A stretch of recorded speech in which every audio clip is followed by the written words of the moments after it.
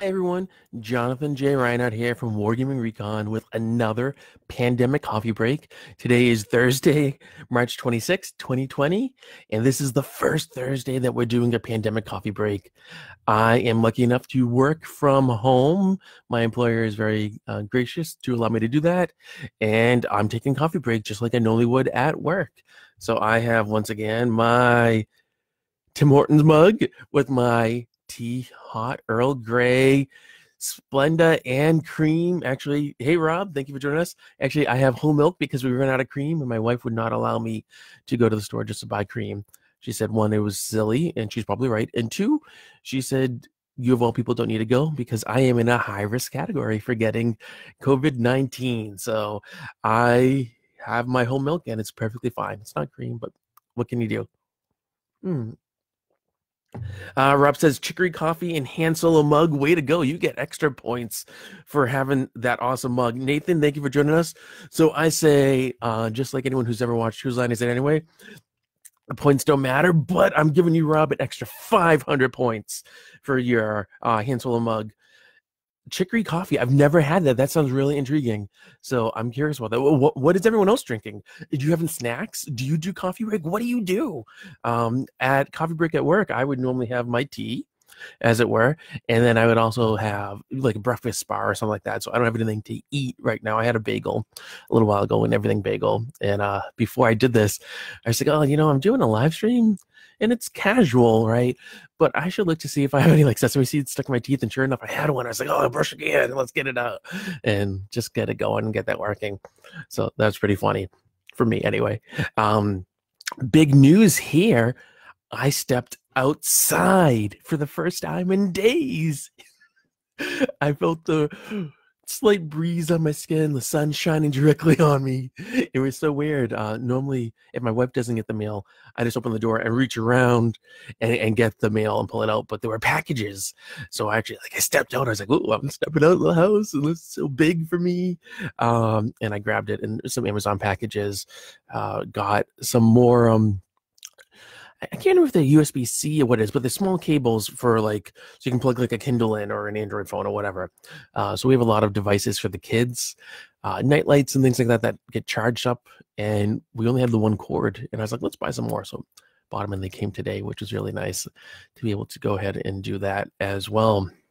Uh, Rob says chicory coffee is a New Orleans brew. It's very strong, which means it's not my kind of coffee. I like coffee that doesn't taste like coffee.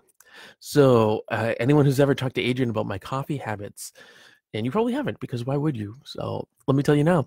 Uh, I like coffee, like I said, that doesn't taste like coffee. It's more like a dessert, right? So, I like coffee that has a flavor. So, usually like a mocha or a hazelnut has to have a lot of cream, a lot of chocolate in it. and then it also has to have um Hey Mark, thank you for joining us. And then it also has to have like Splenda or something in it. Um, I don't do whipped cream oddly enough, but like I like iced beverages or frozen beverages. I find coffee doesn't do well with me. I have really bad reflux, which triggers my asthma, which causes all sorts of other problems and uh, things that I don't want to deal with now with the pandemic happening. So if I were to have coffee, coffee, first of all, I, I drink decaf. My tea's decaf too. It's better for me. But also, it would have to be iced or frozen, like a smoothie or something, and have to have a lot of sugar or Splenda fake sugar, a lot of cream, and it can't taste like coffee at all. Uh, so it's just really funny. Nathan says whole milk does a body good, and that's true. We have whole milk though for uh, for the youngest, who's a toddler. I keep calling her baby, but for the toddler, and uh, my wife said just take some of the milk from that. And so every so often as a treat, uh, whole milk is kind of nice. Mark says he takes his coffee black, rugged, and picked up at the gas station. Wow. Um, rugged like you, right, Mark? That's what you meant to say. A real man's coffee, right? A woman's coffee. Um, Rob says the World War II Museum lecture yesterday was very good. New ones every Wednesday at 11 a.m. Central Standard Time. That's great to know. There's a lot of cool resources out there for all of us. So it's great that people can get stuff like that as well. and know, uh, see all that as we are all sequestered here. And that's one of the reasons why we're doing this. So yesterday, we had Peter Bryan who was in the live chat uh, here, and I talked with him afterwards. He is head of new media at TSR Games. He's in charge of the uh, podcast network, which we, you know, are a part of. That's terrible grammar. Of which we are a part, and he was saying that one of the things he really likes with this whole pandemic thing is to see how people are being innovative, uh, like this live stream uh, and like the uh, museum lectures and so forth. Uh, so it's just it's trying to it's really kind of neat and cool um, for that. Uh, Rob says kids have lectures as well from the World II Museum. Uh, they start today. So today's Thursday, March 26th.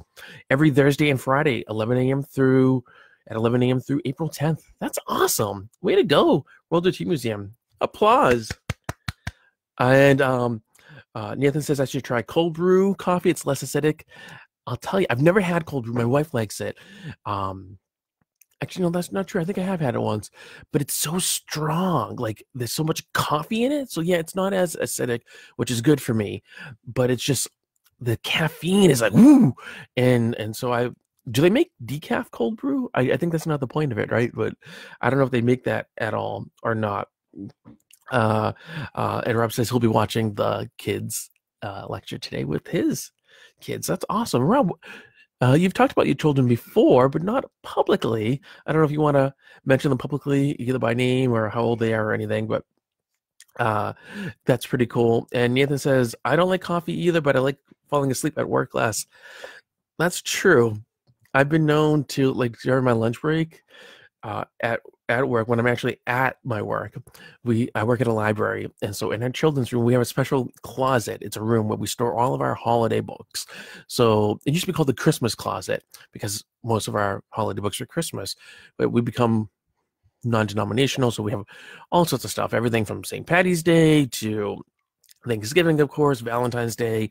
Uh, we have a lot of Jewish holidays, not just Hanukkah and Yom Kippur, but we have um, of course Rosh Hashanah, and um, I can't think of the one with the shrub. My it's failing me. It'll come to me at some point. Uh, but I think you go outside in a tent or something. Uh, and uh, we also have a lot of like Chinese holidays and Lunar New Year and all that kind of stuff. Uh, so in there, there's this really comfortable chair, which is great, and it's just it's wonderful. It's one of these old chairs, nice leather one that's really been uh, used a lot by people. It's been sanitized, uh, so it's not like gross, but because it's like kind of weathered, uh, it gets put in the closet. And the closet is also our official lactation room. So all public spaces here in Massachusetts uh, like libraries and so forth. They're supposed to have a designated space for nursing mothers to go, so they don't have to go in the bathroom. So we put them in the closet, which sounds awful, but actually, it's a really it's kind of a nice space. There's no windows or anything, um, but it's just it's kind of cozy. It makes you feel like a hobbit hole. But you get this comfy chair, and there's all these books around, and there's these cool pop up books and stuff, so you can look at them and everything. And I love kids literature, of course, with the kids.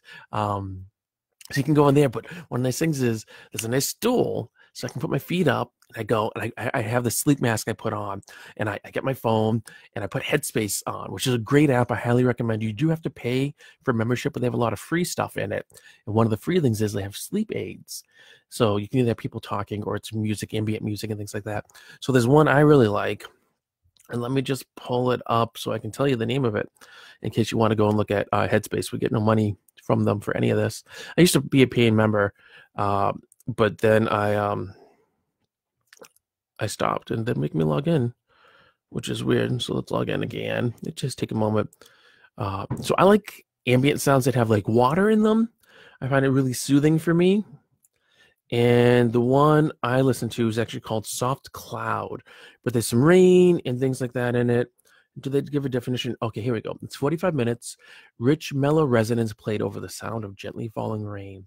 And so I'd put that in at, lunchtime. I'd go and eat half my lunch and then go in the closet, go put my thing on, put my earbuds in, do put my feet up. I get like a 20 minute nap out of it. And especially when each of my kids was like newborn and we weren't sleeping at all. I have sleep issues anyway, but weren't sleeping at all. That's kind of got me through the day. So I've tried to make a point of at lunchtime to try to take a little nap, but sometimes it can go long, uh, which is a problem. Uh, Nathan says you can make decaf cold brew. Well, I'll be darned. that surprises me. Maybe I'll have to look into that and see if my wife can um find someone. She goes to the store, and Rob has two girls who are 12 years old. Oh my goodness. Uh, I dread when my kids start getting to be that old. Um, the oldest lost a tooth the other day, and taking pictures and all excited for her. But then when she went out of the room, I turned to my wife and I gave her a hug and I started to cry because I get very emotional. And she's like, What now? And I said, She lost her tooth and she's going to grow up and get married and leave us and we'll never see her again. She's going to marry me. And I was like, Oh. And um, this is funny, but I get very emotional in that kind of way. Um, and Mark says Kwanzaa. Oh, Sukkot. That's it, Nathan. Thank you. Sukkot. That's the one, uh, the Jewish holiday I was thinking of that I couldn't um, think of the name. Sukkot. Um, uh, Kwanzaa, yeah. I actually celebrated Kwanzaa for the first time uh, this past December because I had learned through doing some genealogical stuff that I am of African descent. And I know you might think, whoa, looking at Jonathan, I wouldn't tell that. Um, darn you, that's racist. I'm, I'm mocking. Um, it's not because that's ridiculous. Uh, but I really am of African descent. So I was like, I, I want to get into this and, and, learn about my African roots. So we celebrated Kwanzaa. We had Kwanzaa music and like learn more about my Pan African roots and all this kind of stuff. So it was really kind of cool. Do research and I'm trying to decide if I should actually get appropriate Kwanzaa attire for this year or if people are just going to think I'm appropriating someone else's culture. But like I have legit African roots. So I want to learn about it and celebrate it and and all of that. Uh, Rob wants to know what's on everyone's hobby bench. And Nathan's wrapping up some old metal ogre minis from Steve Jackson games, and he's going to assemble some bolt action Germans to batch paint. Mark has 16 year old twins. My God, twins! How do you do it? It's, it's hard enough with um the two I have who are not twins. My goodness, uh, Nathan, um, Nathan, Jesus, Mary, and Joseph. Four kids, ages 25, 22, 19, and two my goodness, man. Whoa. That's a lot of children. You're turning into the Brady Bunch over there. Just, yeah. 500 points for Nathan for four kids. My goodness. Everyone gets 500 points. 500 points all around. Wow, I feel like a slacker with my two. And um, my hobby bench is, I would send you a picture, but man, it's messy it's just it's so so bad because I got all these. It's here. it's this way. I get all these projects I I'm working on, and my goodness, it's it's slow. Uh, actually, not as slow as you would think. I actually made some progress. Now, speaking of hobby stuff, I guess because we are a hobby uh, endeavor. I did some more work on my lattice, um, short lattice uh, fences. So I have two of them here for two reasons. One, yesterday I talked about the backing supports and how the difference you can see this is kind of I called it a Y. It's not really, I guess, but kind of like that. So you have uh but then also the other supports and I decided these straight up and down ones I don't like as well. I like the other ones better. And I wish Jorg would just have all of them for the other way. And I think he did these because he was trying to make it fit on his sprues without having to do another thing. But I really like the other supports better. So I'd pay extra for the other supports. And um that's just me. uh to be fair, I didn't pay for these. I, I got them as a Christmas gift from my parents. Uh, I was about to say I got them because we reviewed stuff for Jorg uh, over things from the basement, and so we have this arrangement. But no, these are actual Christmas presents. Um, Rob says he's doing 20 millimeter arches for Robin Hood skirmish game. What set of rules are you using for that, Rob? Because there's a, few that you could do, and I'm curious what you have picked. And um, and he's also doing 15 millimeters U.S. Marine Corps LVTs for Battle Group. Wow, way to go! Battle Group is very popular nowadays. Mark says he thinks he has a depth the Messi's bench. So I'm going to challenge everyone, and I, and I'll actually put a picture up on our fan club Facebook group. And I don't know how many of you will do this. Take a picture of your workspace. Hey Jamie, thank you for joining us. So take a picture of your workspace, everyone. I want to see who has the messiest workspace for your hobby. And whoever does will win some sort of prize. I don't know what it is yet. We'll come up with it, but we'll see what kind of prize it is. it will be something. Um, I don't know. Maybe I'll buy a kit from Things in the Basement or something. I, I, I don't really know. Give you a shout out on the show. I, we'll figure it out. But you'll win something. some sort. I don't know something fun. This is spur of the moment. Messi's bench go. Let's see. If I win, I'm not going to give myself the prize because that's just not cool, right? So let's see who, who of you actually has a Messi's bench. And Jamie, don't you wish you didn't clean up your hobby room now? Because I know you you're like, yeah, I cleaned up my hobby room. Don't you wish you left it alone? Because you would totally win this thing. Um oh so we have and i don't mean to sound excited about it but there's actually some bad news in the hobby. Uh so a lot of conventions of course which are not happening right now because of the pandemic but a lot of conventions are using this software called tabletop dot events it makes sign up and organization really easy for them saves them time and therefore money makes it easy for attendees to sign up get your badges and to see what events you have. You get a calendar that you can export and share with people, see what your friends are doing, buy badges for your friends, tickets, and all that. They might be closing down for good. So they made an announcement yesterday that they were going to be going out of business, that with the pandemic and everything, there's a huge downturn in events, of course, they have no revenue for them and for them to come back even if they got a business loan just it wouldn't do it they'd be so far behind. But the community has such an outpouring of support for them that now they're considering maybe doing crowdfunding or some other sort of uh, method to keep going. So we don't know how that'll be but i do know it's going to impact huzzah. So any of you who are going to huzzah in portland maine or been thinking about it huzzah is still on uh, they've just kind of paused player registrations and they're kind of seeing what the government's doing and all that kind of stuff. Uh, but if tabletop dot events does go kaput or even go away for a while or whatever, they're gonna have to scramble. And a lot of other cons I think will have to scramble as well to find something else to handle registration. So there's a lot of um, craziness going on in the world. And I also want to mention actually some good news. Uh, so Footsore Miniatures North America, and I took a picture on my phone so I wouldn't forget. Here we go um, uh, Tim Swakowski, who is in charge of distribution for Footsore Miniatures, says that because Adepticon was canceled this year, um, that they're doing uh, a 25% off products from Footsore North America. It's good until March 29, 2020. You got to use the coupon code, and I don't know if it matters if it's all caps or not. It's all caps in what he posted. Um, but HB 25. So if you use that at checkout at footsorenorthamerica.com, you can get some cool stuff for 25% off, save yourself some money, help out Footsore, which is really good. Hi, Malachi. Um, Malachi says tabletop is a great resource. I hope they go with crowdfunding. I donate in a heartbeat. I think a lot of people feel the same way that you do. And I know there's been some interesting discussion where conventions who promote it or get their attendees to support it would give special like VIP badges or special discounts or special access to stuff. I think that's a way that can really help out.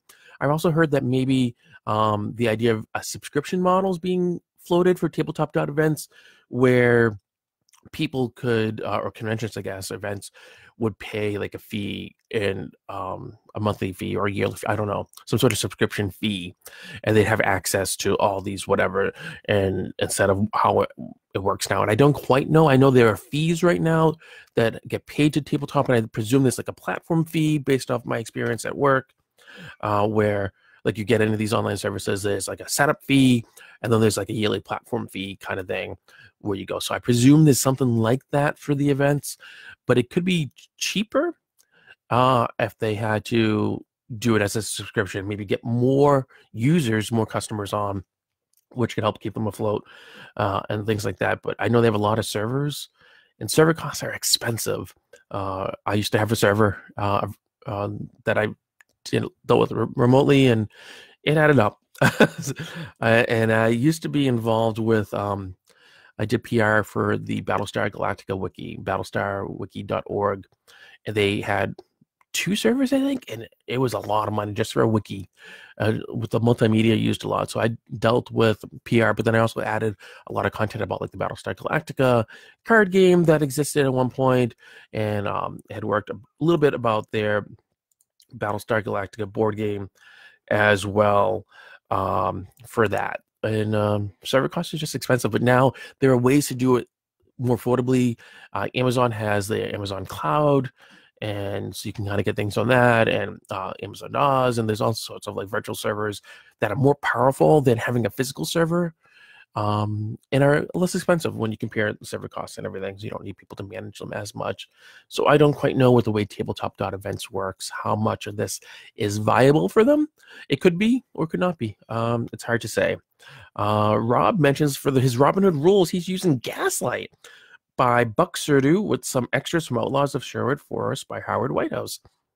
I've heard of Gaslight, have not used it, am not familiar with Outlaws of Sherwood Forest. I was kind of curious if you were using um, Lion Rampant at all. And I know that's probably you're probably doing skirmish as in like one model. And Lion Lion Rampant could do it uh, because I played Lion Rampant at, with Ken Eckhart at Huzzah a few years ago, and it was uh, just like a fun kind of comedy setup uh, where we had a, a, killer bunny that was uh, made an appearance, and I may have actually burned down a church or what was it, a monastery. Just kind of funny that the Catholic was burning down churches. Let's not say that too loudly. I might have to go go to confession again. Which, interesting enough, if any of you are religious, if any of you are Catholic, I'm not saying you have to be any of these things. I am. Um, but now the Catholic Church says if you're in a place with a pandemic and you can't get to church to go to confession. It's Lent for us, uh, a time when everyone's required to go to confession and confess all your wrongdoings, your sins. Uh, you can do it at home directly to uh, the Almighty, if you so believe in an Almighty or religion of any type. Uh, so you can do it at home, which feels very Protestant to me. kind of weird, but life is different now. Uh, and Rob says he's interested to try new Ste- Steel and Steed rules by God's Eye Games, Joe Veltri. I know that name. um, and that Lion Rampant takes more models than Skirmish. Yeah, see, Skirmish is a weird term for me because a lot of games use the term Skirmish, and some of them mean single models. Some of them mean like five to 10 models as a unit. Uh, it's just, it's so weird. And I think we need better, just really better terminology for this kind of stuff. What it would be, I don't know. Um, thankfully, I don't have to come up with that.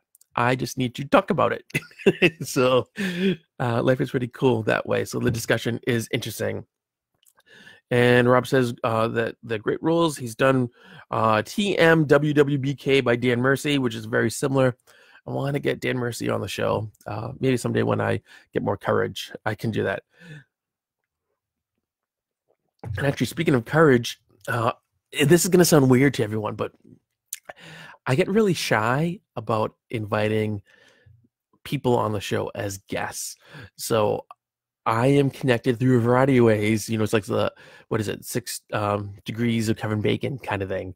I'm connected to a lot of big names in the hobby, but not such that they would know my name or know me. Um, it's more like people I know know them, and so I'm really afraid, I guess is the word, of reaching out to any of these big names uh, and inviting them on the show because I'm fearful that like the show's not going to be good enough, or we're going to have a problem, or they're going to say no, or uh, they're going to be insulted, or whatever because everyone's busy. Uh, but when I was on Henry Hyde's Battle Chat not long ago, we talked about one of them. I can't remember if it was actually on the air on the episode or if we talked about it beforehand. Uh, but I'm going to be brave and I'm actually going to invite the Perry brothers on. Uh, uh, they are shut down at Perry Miniatures. They're working from home, and so I'm thinking um, one or both of the brothers might be willing to come on. They've always been nice when I've emailed them in the past about stuff, and they sent uh, a free review copy of their tabletop battle game, which we've covered on the show before. And Henry knows them. He says they're just really chill guys, and they're really nice and friendly. And I'm I'm not doubting that, and I'm not doubting it about any of the other people I would really like to have on who I could ask because I have contact information, but I'm just I'm afraid. So I'm I'm going to try to be brave here, uh, as I tell my oldest. Um, you know, being brave isn't just doing stuff; it's doing something when you don't want to or when you're afraid of doing it. That when uh, you would rather not do it, but then you do it anyway. Uh, and so I got to take some of my own advice and be brave. And uh, uh, we'll do it. So I, am gonna. I haven't done it yet, but I'm gonna be inviting the Perry brothers, one or both of them on. Uh, and I'm also I have reached out. I get to send an email. I haven't done it yet, but I, I reached out to Annie over at That's right, Bad Squiddo Games, because I'm just so excited about the stuff she does. And um, now that I'm working from home, I have a little more leeway for scheduling and time. So, like, if in the past, like if I was at work at work, I couldn't do a recording in the morning, of course, because I'm at work at work. But now I could do it, and then I can be like, okay, I used an hour, so then I'll work an extra hour at night, and that's okay. So things work out. Uh, so I'm going to be doing that, and I have booked Henry Hyde. He's coming on um, two, three weeks out. We're going to do the recording, and I don't know when it'll come out on the, the podcast, but coming out at some point. So I'm really excited about all this. Get some guests coming, and I think we're going to try to do a big British push for guests and uh, just see how it goes. And uh, I'm excited, but scared at the same time. And it feels really stupid saying that because I've been doing the show and doing this for so long. Uh, at the risk of sounding boastful, I've been doing the show longer than anyone else on the planet has ever t- podcasting about tabletop games. Longer than as far as we know, anyone else in existence has ever done it. So you would think, like, I'd be like, okay, fine, we'll just do it or whatever. But I'm like, I don't know, I don't want to inconvenience anyone, and it's just it's part of my mental process and I, I need to get past it and, and realize it that yeah, they're in the industry, but I guess I kind of am too in a weird way, which doesn't feel like it because I really don't picture them being in a place like this doing a live stream with everyone. Like it feels more professional by them, but I guess not. So I don't know. Um, Nathan says Howard Whitehouse is very approachable. If you need a guest, Nathan, I would love to get in touch with him so we can talk about what he's doing and all the stuff that you're doing with his rules and everything. So I just think that would be really cool. So uh, I will tap you for contact information for him as well. And Mark says he would call one to one games tabletop role playing. And see, that's the thing. Sometimes they kind of are. There's this blending of it.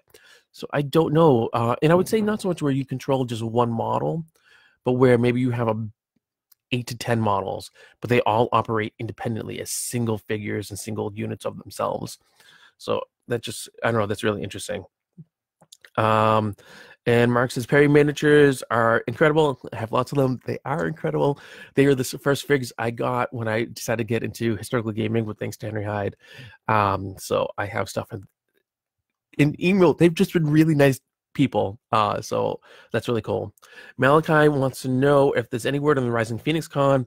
He's hoping they can still hold the con at some point. I actually, oh, I am so sorry. I've been mispronouncing it.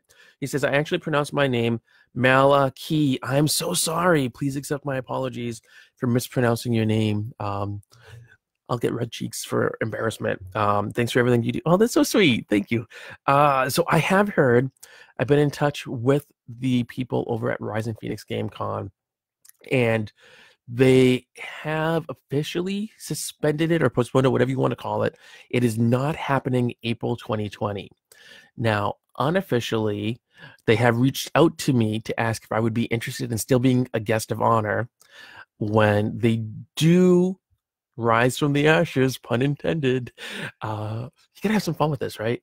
Uh, and I believe their hope is possibly in the autumn, sometime, sometime in the fall, but it depends on the pandemic. It depends on finances. It depends on events and locations and all that kind of stuff and what they can work out and everything.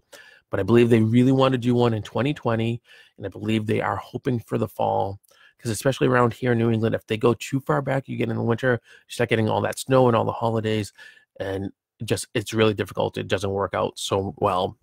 So Mal, which is easy to remember um, because uh, we have two mini lop bunnies. Uh, one of them, his name is Mal Malcolm, um, but we call him Mal after Captain Malcolm Reynolds. Yeah, that's fine. Shake your head. It's okay.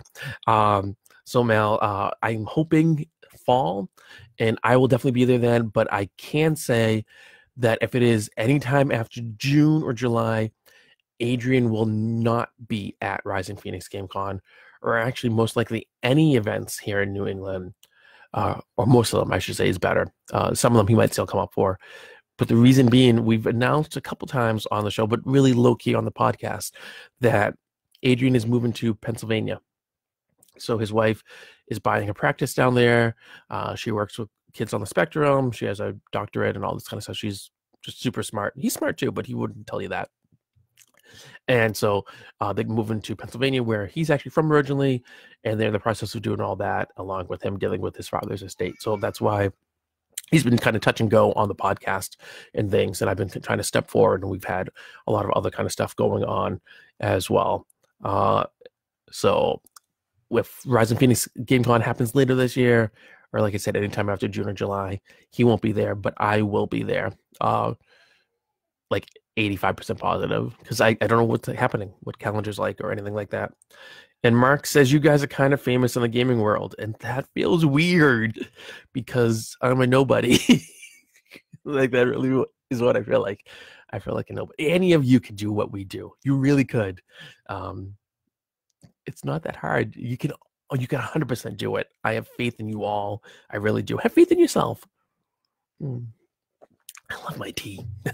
Uh, oh, and I want to show you some things in the basement are regular fences that I'm working on. So these have all been uh, spray painted with a rattle can, and then they were inked with uh, Army Painter Strong Tone. And so I just got to pop them out and missing spots of the bases because I put uh, Stirland Mud on the bases and do the supports. But I'm all a fluster because I'm getting low on Stirland Mud and I don't know where I can get it because Games Workshop is shut.